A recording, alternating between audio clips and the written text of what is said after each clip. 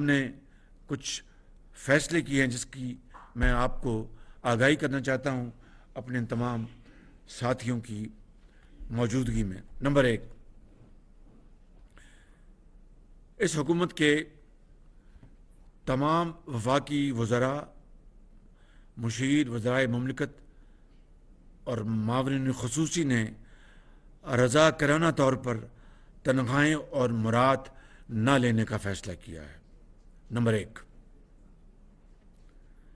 मैं फिर दोहरा दूँ कि तमाम गुज़रा तमाम मुशीर वज़रा ममलिकत और मावरीन खसूसी ने रजा कराना तौर पर तनहाई मुराद ना लेने का फ़ैसला किया है।